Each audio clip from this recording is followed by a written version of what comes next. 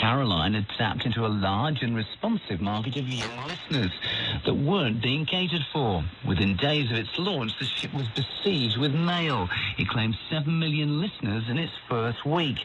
Normally cautious advertising executives have begun to take notice of the bright, unorthodox style of the new medium. And that, I'm afraid, winds up the early show from me, yours truly, Simon Dee for this morning. My last one on board for, should I say, at least two weeks? Perhaps three weeks. Perhaps rather. I shall never see me again.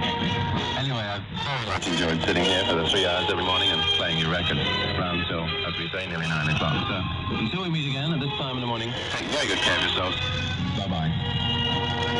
Caroline's only commercial competition was from the continent, from the Grand Duchy of Luxembourg, the nightly station of the stars, which relied on block advertising from the major record labels which have so dismissively shunned Ronan O'Rahilly. For all that's worthwhile, your radio dial is on Radio Luxembourg. Good evening, friends. This is Horace Batchelor at the microphone. Keynsham, spelled K-E-Y-N-S-H-A-M, Keynsham, Bristol. And hello there, record fans, wherever you are. Once again, it's time for another roundup of all your favorite British and American recording artists, brought to you by the Decca Record Company for your special delight tonight. Oh, excuse me, madam. Yes? I work for Luxembourg, you see. Oh, Why, I'm sorry. Oh, I'm afraid I can't help you. No, no, no, no. I was hoping you'd play chaperone to this young fellow. This is OHR, Offshore History Radio. OHR, a free and independent radio station from the Netherlands. If you are interested in offshore radio, feel free to check out our 24-7 non-stop offshore radio video documentaries with stories of the golden days offshore radio. Go to bit.do slash offshore radio. I'll repeat, that is bit.do slash offshore radio. Feel free to send your comments, reactions, and reception reports. Our email address is ohrradio at outlook.com. That is ohrradio at outlook.com. Thanks for your attention.